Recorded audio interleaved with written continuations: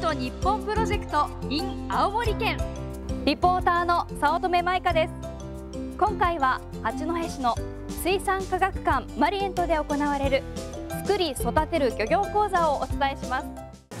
普段私たちが当たり前に食べている魚介類はいろんな取り組みによって供給されています。作り育てる漁業講座は漁業資源を安定的に確保する努力や工夫を学ぶことができるんです。地球情報館というコーナーがございます。こちらはあの地球深部探査船地球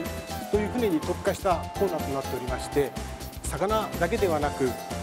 海洋それから地球のことを学べる区画となっております。今日はその特性の方から、えー最先端の技術を水産関係者漁業関係者の皆さんの日々の努力があってこそそのおかげっていうのを知ってほしいということがあります。